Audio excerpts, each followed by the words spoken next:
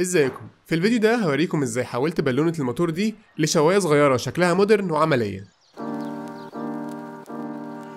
البالونة دي جبتها من بتاع روابيكيا واشتريتها منه ب 25 جنيه. والمشروع كله على بعضه ما تخطاش ال 150 جنيه لأني استخدمت بواقي خامات موجودة عندي. ال design بتاع الشواية هيكون عبارة عن اني هقطع الجزء العلوي من البالونة بحيث يبقى غطا وأركب فيه يد وأعمل نفس الكلام للجزء اللي تحت. والجزء اللي تحت هعمل فيه فتحة لتقليب الفحم وأركب ثلاث رجول من الخشب والحديد وأدهنها في الآخر أسود. فبدأت أفك المسامير اللي في البالونة وشلت الغطا بتاعها وكان في جزء مطاط كده معرفش هي دي البالونة اللي متسمي عليها ولا إيه.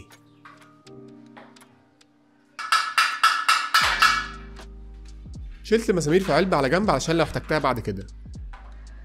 وبدأت أعمل نقط مكان القطع بتاع الغطا وجبت حتة السلس تكون بتتني وعملت خط على طول البالونة وقطعتها بالصاروخ.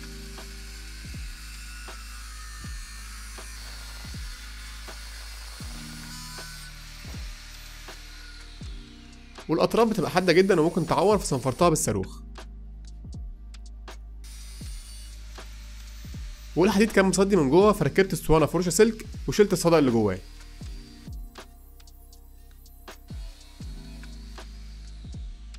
وحاولت أعمل نفس الكلام من بره علشان أشيل الدهان بس كان بيتشال بصعوبة. فغيرت الاسطوانه الصنفرة وكانت بتشيل أفضل بكتير.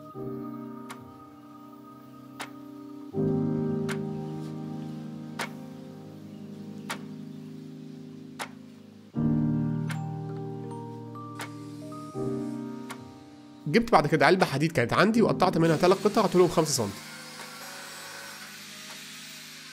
وبدأت ألحم القطع دي في جسم البالونة من تحت.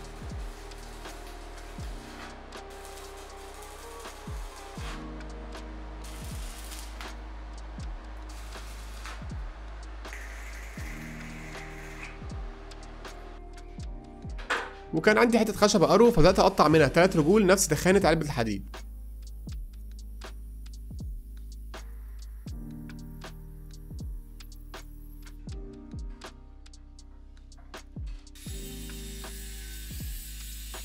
وعلشان الرجول تدخل في الحديد اللي لسه لاحمينه كان لازم أشيل سمك الحديد ده من الخشب. فلفيت لزق حوالين الرجول عشان الخشب ما يشلعش وظبطت ارتفاع السلاح بحيث يبقى نفس سمك الحديد بالظبط.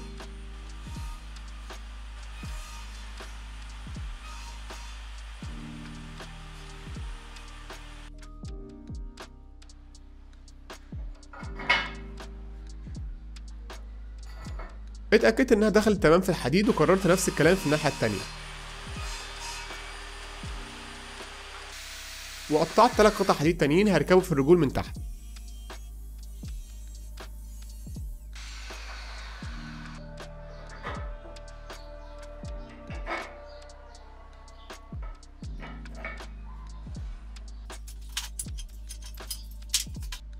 بعد كده بدأت بالزاوية إني أعلم وأقطع مكان الفتحة اللي من قدام اللي هقلب منها الفحم.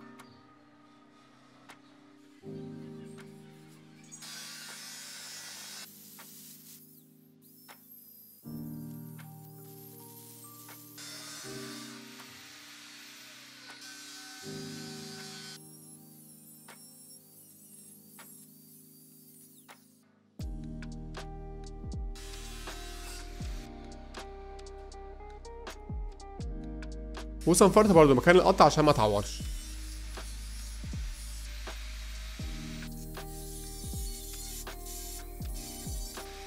جبت خوصة حديد وقطعت منها قطع بزاوية وبدأت أخرمهم. وقطعت حتت أصغر وخرمتهم عشان دول اللي هيتعمل منهم اليد اللي هتشال منها الشواية. واستخدمت المغناطيس علشان أثبتهم مؤقتا ببعض لحد ما ألحمهم.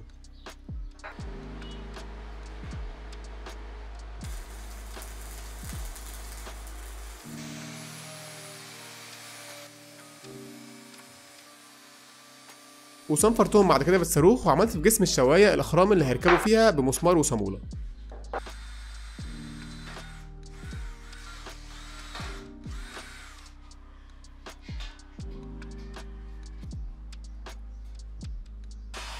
جبت حتة عصاية مقشة وقصيتها بزاوية قريبة من زاوية اليد وعلمت الناحية التانية وقطعتها. واتأكدت إن مقاسها مظبوط وخرمتها وثبتها بمسامير سن صاج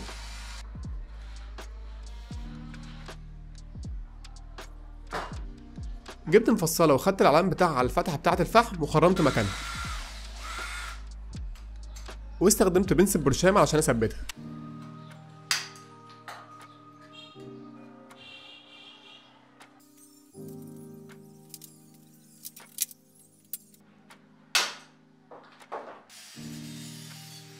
جبت حتة حديد قديمة وقطعت منها شريحة وخرمتها.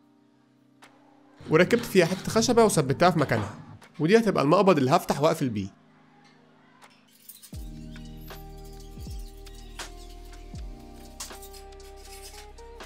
وعلشان تثبت في مكانها قطعت حتة أصغر وتنيتها وثبتها في الشواية.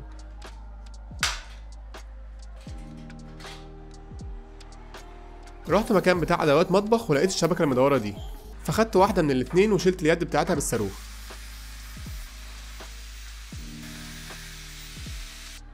وعلى حظي الحلو إن مقاسها كان على قد الفتحة بالظبط.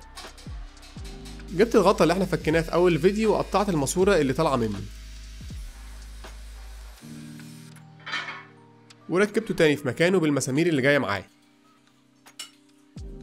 وقطعت حتة لزق وسديت بيها الفتحة دي.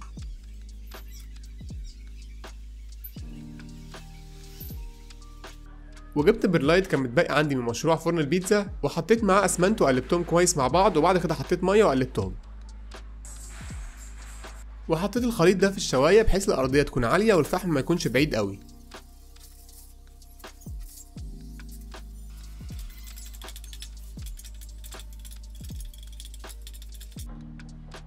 بعد كده اشتغلت على اليد بتاعة الغطا عن طريق إني خدت علامة سمك الخشب وظبطت ارتفاع السلاح على نص سمك الخشب بالظبط وبدأت أقصه.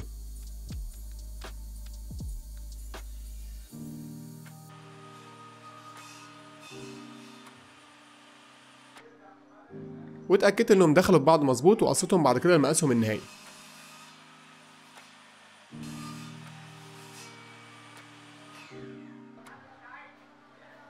وغريت بعد كده الخشبتين ومسكتهم ببعض بكلام. وطريقة التعشيق دي اسمها هاف لاب أو نص على نص.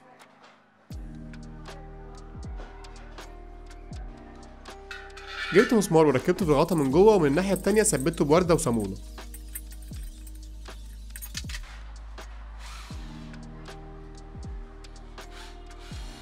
وفكيت كل الخشب من الشواية وجبت القطع الحديد وبدأت بتنر أمسح كل الأجزاء من أي تراب أو شحوم موجودة فيهم علشان يبقوا جاهزين للدهان.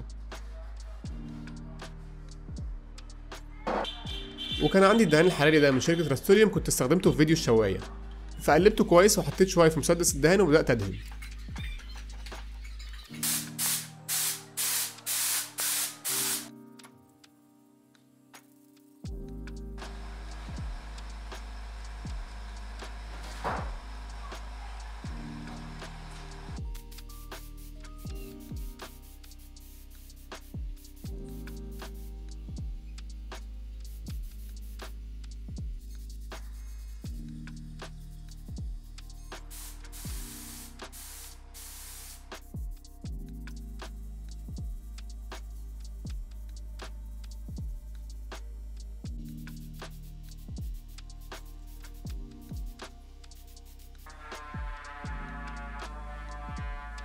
صنفرت برضو قطع الخشب كلها ودهنتهم بصبغة زيتية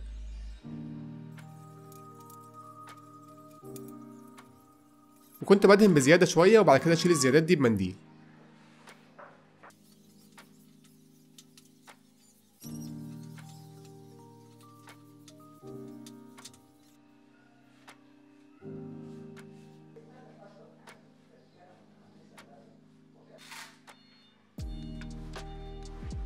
جبت المادتين اللزق دول وخلطتهم ببعض وبدأت أثبت قطع الحديد في الخشب.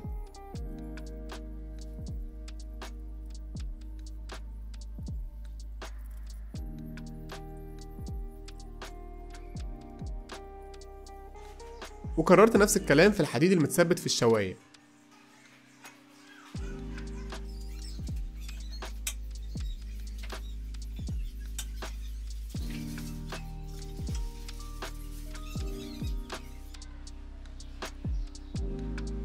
خدت اليد بتاعة الغطا وعلمت ال center بتاعها وخرمته ببنط أصغر شوية من المسمار.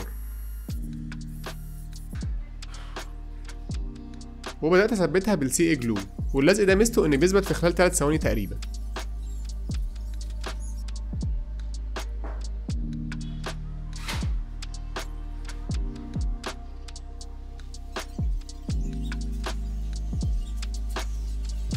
وثبت بعد كده الخشب في مكانه وبكده نكون خلصنا. بصراحة اتفاجئت بشكلها بعد ما خلصت وإن شكلها كأنها جديدة مع إن زي ما قلت لكم ما كلفتش 150 جنيه خامات. وده من أحد الأسباب اللي بتخليني أحب أعمل مشاريع إعادة تدوير. لو أنت كمان عجبك شكلها ما تنساش تساعدني أوصل لناس أكتر عن طريق إنك تعمل like و share ولو على يوتيوب تعمل subscribe وتوصلنا لأول 100000 مشترك.